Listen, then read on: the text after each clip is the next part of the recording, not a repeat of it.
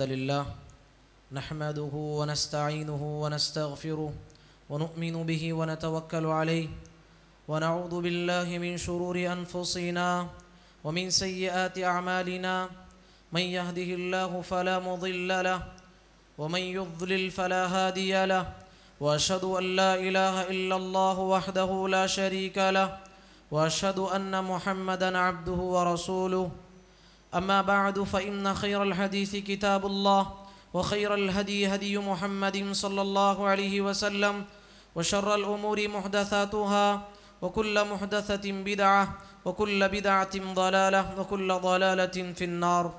أعوذ بالله من الشيطان الرجيم. بسم الله الرحمن الرحيم. من همزه ونفخه ونفثه. بسم الله الرحمن الرحيم. إن الدين عند الله الإسلام. وقال عز وجل، ومن يبتغ غير الإسلام دينا فلن يقبل منه، وهو في الآخرة من الخاسرين. رب اشرح لي صدري ويسر لي أمري، واحلل عقدة من لساني يفقه قولي. سامعین اکرام، اللہ رب العالمین کا بے پایا شکر و احسان ہے کہ اس کے فضل و کرم سے آج ہم یہ اجلاس منعقد کرنے جا رہے ہیں۔ اللہ سے دعا ہے کہ اللہ تبارک و تعالیٰ آج کے ہمارے اس پروگرام کو کامیاب بنائے۔ آمین۔ اس کے بعد بے پایا درود و سلامتی نازل ہو۔ اللہ کے تمام انبیاء کرام علیہم الصلاۃ والسلام پر بالخصوص میرے اور آپ کے نبی جناب محمد الرسول اللہ صلی اللہ علیہ وسلم پر۔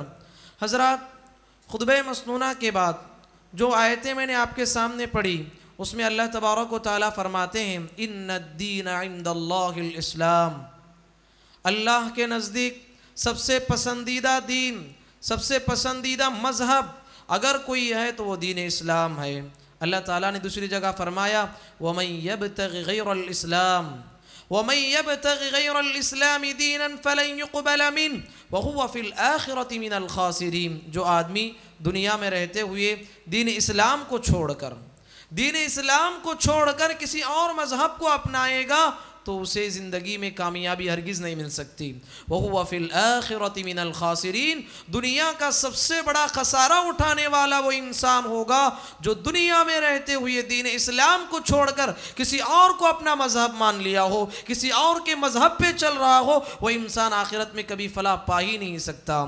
پیارے نبی صلی اللہ علیہ وسلم نے ایک حدیث میں فرمایا، وَالَّذِي نَفْسُ مُحَمَّد بِيَدِي لا يسمع بي أحد من هذه الأمة، يهودي ولا نصراني، ثم يموت ولم يؤمن بالذي أرسلت به إلا كان من أصحاب النار. اللہ اکبر پیارے نبی صلی اللہ علیہ وسلم نے فرمایا کہ اس ذات کی قسم، اس ذات کی قسم جس کے ہاتھ میں میری جان ہے کہ کوئی بھی آدمی وہ یہودی ہو، وہ نصرانی ہو، میرا نام سنا ہو میرے نام کو سننے کے بعد، میرے دین اس کے پاس پہنچنے کے بعد اس پہ ایمان نہیں لاتا۔ پیارے نبی صلی اللہ علیہ وسلم نے فرمایا، اگر وہ اسی حالت میں مر جاتا ہے اللہ کان من اصحاب النار، وہ انسان جہنم کا ایندھن بن جائے گا۔ وہ انسان ہمیشہ ہمیشہ کے لیے جہنم میں جائے گا۔ تو حضرات، اسلام کو سمجھنا ہے۔ اسلام کے محاسن کو سمجھنا ہے۔ اسلام کی خوبیوں کو سمجھنا ہے۔ اسلام کس کو کہتے ہیں؟ پیارے نبی صلی اللہ علیہ وسلم نے فرمایا، الاسلام، ان تشهد ان لا اله الا الله وان محمد رسول الله واقام الصلاه وايتاء الزكاه والحج وصوم رمضان. پیارے نبی صلی اللہ علیہ وسلم نے فرمایا کہ اسلام یہ ہے کہ اللہ کے سوا کوئی معبود نہیں اور یہ دل سے اور زبان سے اقرار کرنا کہ محمد الرسول اللہ اللہ کے پیغمبر ہیں اور اس کے بندے ہیں۔ نماز قائم کرنا روزہ رکھنا، حج کرنا۔ اور پیارے نبی صلی اللہ علیہ وسلم نے فرمایا کہ رمضان المبارک کے روزے رکھنا، زکوٰۃ دینا، یہ اسلام کی پانچ بنیادی چیزیں ہیں۔ اگر جس کی زندگی میں یہ پانچ بنیادی چیزیں آ جائیں، اللہ کی قسم وہ دنیا میں چلتا پھرتا جنتی ہے۔ پیارے نبی صلی اللہ علیہ وسلم کی خدمت میں ایک شخص آیا۔ صحابہ کہتے ہیں، نجد کا رہنے والا تھا۔ آ رہا تھا اور وہاں سے بات کر رہا تھا، ہمیں اس کی بات سمجھ میں نہیں آ رہی تھی۔ دویہ صوتی، وہ پیارے نبی کے قریب آیا اور آ کے کہا کہ اے اللہ کے نبی، اسلام کیا ہے مجھے بتائیے۔ اسلام کیا ہے مجھے بتائیے؟ پیارے نبی صلی اللہ علیہ وسلم نے کہا، اسلام یہ ہے کہ تو ایمان لا لے اس کے بعد دن اور رات میں اللہ نے پانچ اوقات کی نمازیں تجھ پہ فرض کی ہیں۔ اس نے پوچھا، اے اللہ کے نبی، اس سے زیادہ کوئی اور کام ہے کیا؟ پیارے نبی نے کہا، فرائض کے علاوہ نفل نمازیں ہیں، چاہے تو نفل نمازیں پڑھو۔ اس نے کہا، اے اللہ کے نبی، اس کے بعد بتائیے۔ پیارے نبی نے کہا، رمضان المبارک کے روزے رکھنا۔ اس نے کہا، اے اللہ کے نبی، اس سے زیادہ کچھ کرنا ہے کیا؟ کہا کہ فرض تو ہے، نفل روزے آپ رکھ سکتے ہیں۔ اور پیارے نبی صلی اللہ علیہ وسلم نے کہا، زکوٰۃ دینا ہے۔ اس نے کہا واللہ لا ازید علی هذا ولا انقص. کہا کہ واللہ لا ازید علی هذا ولا انقص، کہا کہ اے اللہ کے نبی، تم نے اسلام کا جو تعارف میرے سامنے پیش کیا ہے، اللہ کی قسم کا کے کہتا ہوں، بقیہ زندگی میں وہی کروں گا جو زیادہ بھی نہیں کروں گا اور کمی بھی نہیں کروں گا جو تم نے بتایا، اس پہ عمل کرتا رہوں گا۔ پیارے نبی صلی اللہ علیہ وسلم سے یہ بات کہہ کے جا رہا تھا، محمد عربی صلی اللہ علیہ وسلم نے صحابہ سے فرمایا، اے میرے صحابہ، اگر تم میں سے کسی کو یہ بات پسند ہے کہ دنیا میں چلتا پھرتا جنتی کو دیکھنا چاہتے ہو، اس آدمی کو دیکھو۔ اس آدمی کو دیکھو، وہ چلتا پھرتا جنتی ہے۔ افلح قد افلح ان صدق۔ کہا کہ وہ آدمی کامیاب ہو گیا۔ اگر جس جو اس نے مجھ سے وعدہ کیا ہے، اس پر وہ وعدے کو نبھائے گا۔ تو حضرات، اسلام اسلام کی خوبیاں کیا ہیں؟ اسلام کے محاسن کیا ہیں؟ پیارے نبی صلی اللہ علیہ وسلم نے فرمایا، انما بعثت انما بعثت بالحنیفیت السمحہ. اسلام کی سب سے بڑی خوبی کیا ہے؟ یہ دین دین حنیف ہے۔ حنیف کس کو کہتے ہیں؟ کسی چیز کا، کسی کی طرف منتقل ہونے کو حنیف کہتے ہیں۔ شریعت کی اصطلاح میں باطل کو چھوڑ کر حق کی جانب متوجہ ہونا، باطل کو چھوڑ کر حق کی طرف جانے کو حنیف کہتے ہیں۔ اللہ تعالیٰ قرآن مجید میں جا بجا حضرت ابراہیم قریب اللہ علیہ السلاۃ والسلام کے بارے میں فرمایا، ملت ابیکم ابراہیم فتبعو ملت ابراہیم حنیفا۔ کہ لوگوں، ابراہیم علیہ السلاۃ والسلام حنیف کی ملت کی اتباع کرو، جو کہ حنیف تھے۔ کیوں حنیف کہا؟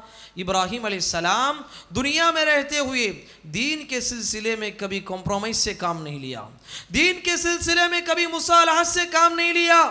دین کے سلسلے میں کبھی مداحنت سے کام نہیں لیا۔ کبھی دین کے سلسلے میں انہوں نے نرمی نہیں برتی۔ بادشاہ وقت سے، بادشاہ وقت سے لڑ لیا۔ بادشاہ وقت کے سامنے گئے۔ دین کی دعوت پیش کی۔ قرآن مجید کہتا ہے ألم تر إلى الذي حاج إبراهيم في ربه أن آتاه الله الملك إذ قال إبراهيم ربي الذي يحيي ويميت؟ قال أنا أحيي وأميت. ابراہیم علیہ السلام نمرود کے سامنے دین کی دعوت پیش کی. اس پیارے نبی حضرت ابراہیم علیہ السلاۃ والسلام نے کہا، میرا رب وہ ہے جو جلاتا بھی ہے اور مارتا بھی ہے۔ اس نے کہا، وہ کون سا بڑا کام ہے؟ میں بھی کرتا ہوں۔ اپنے قید خانے سے ایک آدمی کو بلایا، آزاد کر دیا اور ایک کو قتل کر دیا۔ ابراہیم علیہ السلام نے کہا، جلانے اور مارنے کا تیرا یہ مطلب ہے۔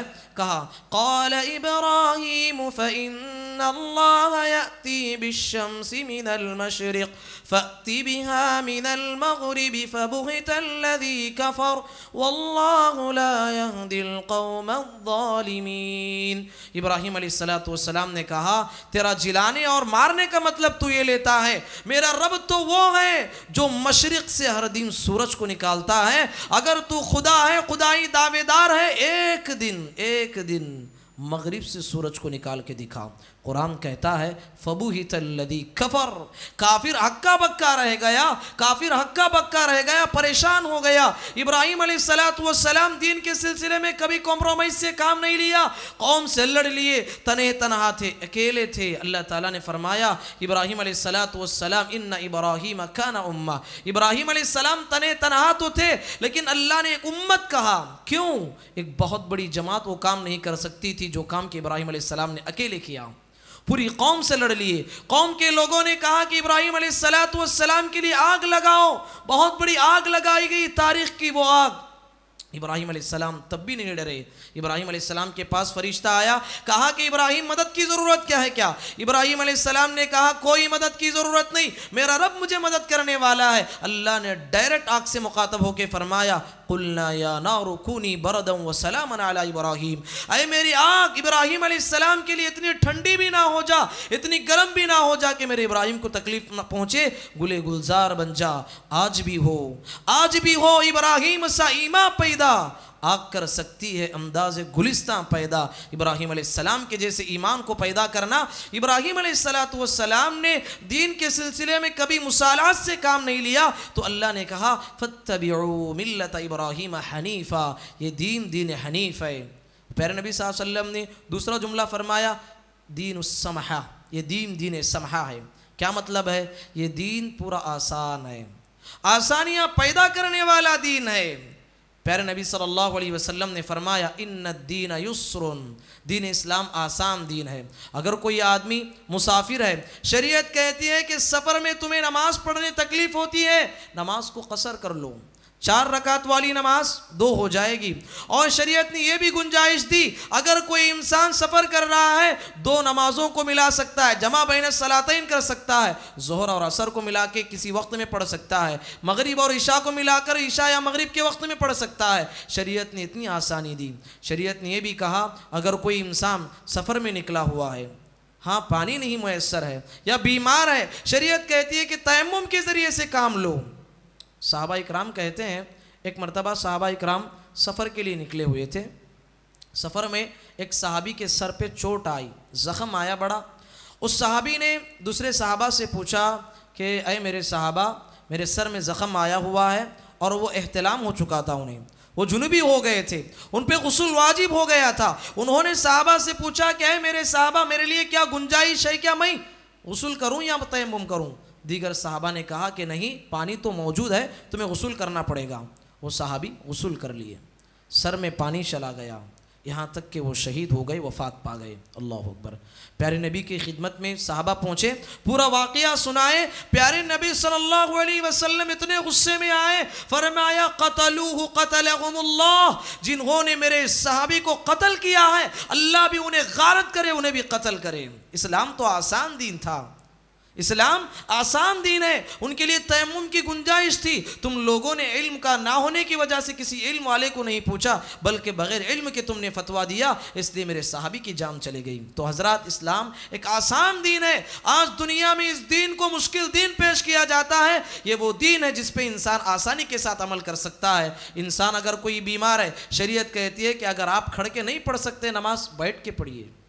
شریعت کہتی ہے، اگر اتنے بیمار ہیں، بیٹھ کے بھی نماز نہیں پڑھ سکتے، لیٹ کے نماز پڑھیے، لیٹ کے بھی حرکت نہیں کر سکتے۔ شریعت کہتی ہے کہ لوگوں، نماز تمہیں معاف نہیں، پر اشاروں کے ذریعے سے نماز پڑھو۔ اللہ اکبر، شریعت کتنی گنجائش نکالتی ہے میرے بھائیوں۔ روزے کا مسئلہ لیجیے۔ شریعت کہتی ہے فمن كان منكم مريضا او على سفر فعده من ايام اخر جو آدمی سفر میں ہے، اس کے لیے روزہ اگر رکھنا مشقت ہے، تو شریعت کہتی ہے اس کے لیے چھوٹ ہے، بعد کے دنوں میں وہ روزہ رکھ سکتا ہے۔ اسی طریقے سے پیارے نبی صلی اللہ علیہ وسلم ایک مرتبہ سفر میں نکلے ہوئے تھے۔ بہت سارے صحابہ کوئی پانی نہا رہا ہے، کوئی سر پہ پانی ڈال رہا ہے، پیاس کی وجہ سے صحابہ تڑپ رہے ہیں۔ ایسے میں پیارے نبی صلی اللہ علیہ وسلم پیالے کو لیا، اونٹ پہ چڑھے، روزے کو توڑ دیا۔ صحابہ سے کہا کہ سب روزہ توڑ دو۔ سارے لوگ روزہ توڑ دیے۔ دیکھیے، دین اسلام کتنا آسان دین ہے۔ اس میں بھی بعض صحابہ روزہ رکھے۔ پیارے نبی نے کہا، اولائک العصات اولائک العصات اولائک العصات۔ یہی میرے نافرمان ہے یہی میرے نافرمان ہے یہی میرے نافرمان ہے جب محمد عربی رسول اللہ صلی اللہ علیہ وسلم روزہ توڑے، کس کی کیا مجال کے وہ روزے کو جاری رکھے؟ روزے کو توڑ دیے بعض صحابہ، تو حضرات یہ دین اسلام ایک آسان دین ہے۔ پیارے نبی صلی اللہ علیہ وسلم ابو موسیٰ اشعری رضی اللہ عنہ، معاذ بن جبل رضی اللہ عنہ کو یمن بھیجتے ہوئے نصیحت فرمائی، یسرا ولا تعسرا، بشرا ولا تنفرا۔ اے معاذ، اے ابو موسیٰ اشعری، میں یمن تمہیں بھیج رہا ہوں۔ دنیا میں تم ایسی قوم ہو جانے کے بعد میری امت کے ساتھ نرمی برتنا۔ آسانیاں پیدا کرنے والے بنو، مشکلات میں ڈالنے والے نہ بنو، میری امت کو قریب کرنے والے بنو، بشارتیں سنانے والے بنو، میری امت کو متنفر نہ کرو۔ یہ نبی صلی اللہ علیہ وسلم کی تعلیم تھی۔ پیارے نبی بیٹھے ہوئے تھے، ایک بدو آدمی، تہذیب سے نا آشنا آدمی سیدھے مسجد میں گھس گیا اور سیدھے پیشاب کرنے لگا۔ پیشاب کرنے لگا مسجد نبوی میں۔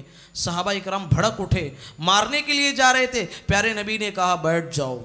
وہ آدمی پیشاب سے فارغ ہوا پیارے نبی صلی اللہ علیہ وسلم اس کو بلائے، کہا کہ ان هذه المساجد لا تصلح لشيء من هذا البول والخزر انما هي لذكر الله والصلاه وتلاوه القران اللہ کے بندے یہ مساجد ہیں، اس میں پیشاب و پاخانہ نہیں کرنا ہے۔ یہاں اللہ کا ذکر ہوتا ہے، قرآن پڑھی جاتی ہے۔ تو اللہ کے نبی صلی اللہ علیہ وسلم کے کردار کو بھی دیکھ رہا تھا وہ صحابہ کے غصے کو بھی دیکھ رہا تھا۔ اس نے دعا کی، اللہم رحمنی و محمدا ولا ترحم معنا احدا۔ پروردگارا تو اگر کسی پہ رحم کرنا چاہتا ہے تو مجھ پہ رحم فرما، یہ محمد پہ رحم فرما، یہاں جتنے لوگ بیٹھے ان پہ رحم نہ فرما۔ پیارے نبی صلی اللہ علیہ وسلم نے کہا، اللہ کی رحمت تو کشادہ تھی، سب کے لیے دعا کرتا تو بہتر ہوتا۔ تو دیکھیے، پیارے نبی صلی اللہ علیہ وسلم نے صحابہ کو سمجھاتے ہوئے فرمایا، انما بعثتم میسرین ولم تبعثوا معسرین اے میرے صحابہ، تم قیامت تک آنے والے انسان کے لیے اسلام کے سلسلے میں آسانی پیدا کرنے والے بنا کر بھیجے گئے ہو۔ مشکلات میں ڈالنے والے بنا کر نہیں بھیجے بھیجے گئے۔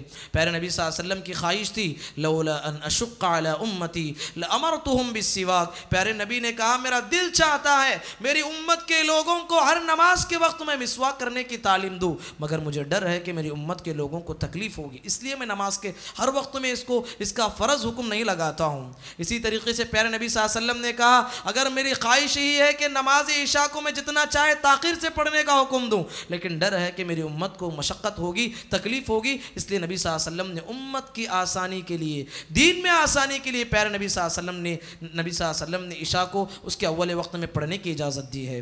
تو حضرات، اگر کوئی انسان دین میں سختی سے عمل کرنا چاہے گا، دین غالب آئے گا، وہ انسان مغلوب ہوگا۔ کبھی دین کبھی ہارتا نہیں دین۔ پیارے نبی صلی اللہ علیہ وسلم کے پاس تین صحابہ آئے، پیارے نبی صلی اللہ علیہ وسلم کے گھر۔ مائی عائشہ صدیقہ رضی اللہ تعالیٰ عنہ سے پوچھا، پیارے نبی کیسے زندگی گزارتے ہیں؟ بتایا گیا، پیارے نبی صلی اللہ علیہ وسلم روزہ رکھتے ہیں، کبھی روزہ چھوڑتے ہیں، نماز پڑھتے ہیں، کبھی رات میں سوتے بھی ہیں، بیویوں کا حق بھی ادا کرتے ہیں۔ تین صحابہ نے کہا کہ ہم نبی صلی اللہ علیہ وسلم تو اتنے بڑے انسان کہ آپ کے سارے گناہ اللہ نے معاف کر دیا ہے۔ ایک نے کہا کہ میں زندگی میں کبھی شادی نہیں کروں گا۔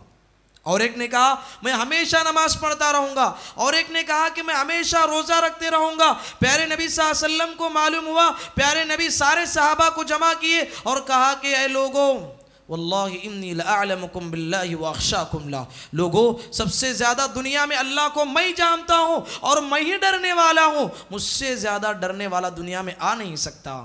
تو اس لحاظ سے اللہ سے ڈرنے کا طریقہ وہ اپناؤ جو کہ میں اپنایا ہوں۔ میں نے تو نو نو شادیاں کر رکھی ہیں۔ امت کے لوگوں کو پیارے نبی صلی اللہ علیہ وسلم استطاعت کے مطابق چار شادیوں تک کرنے کی اجازت دی ہے۔ کون ہے جو یہ کہتا ہے کہ شادی نہیں کروں گا؟ میں نے نو نو شادیاں کر رکھی ہیں۔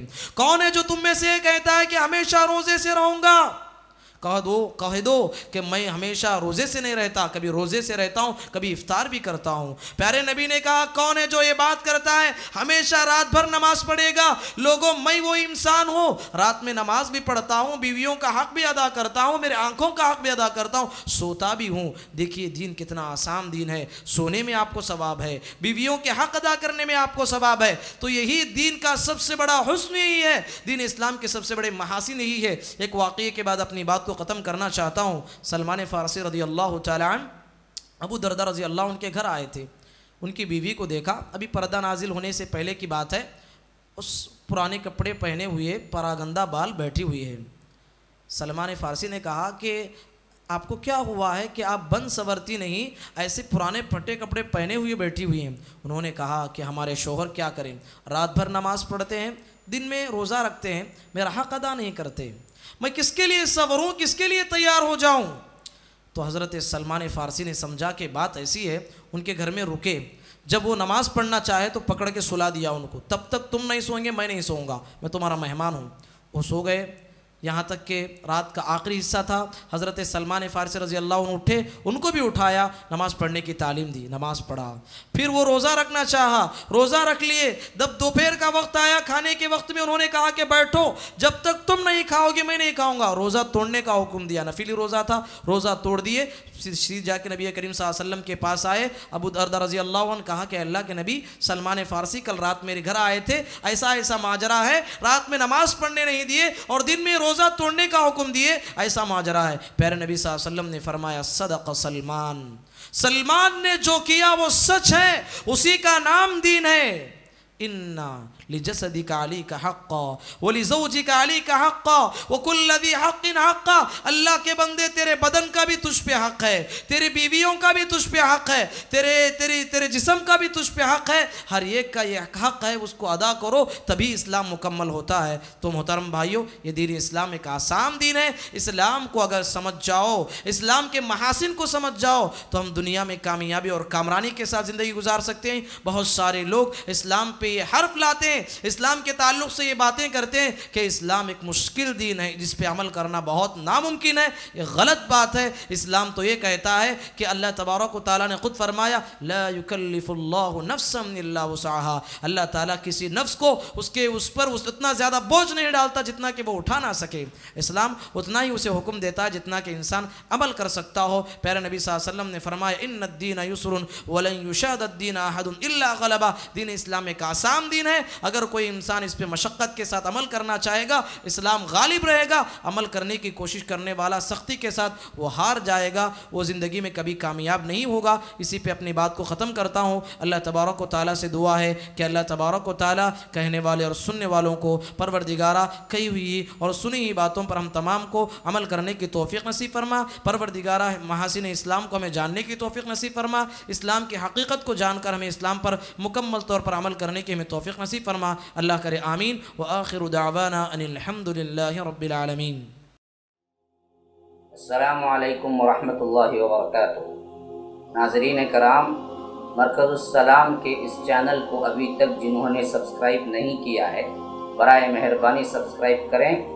اور ہر دن کی اپڈیٹ کے لیے آپ بیل بٹن دبا کر ہمارے ساتھ تعاون فرمائیں۔ جزاکم اللہ خیرہ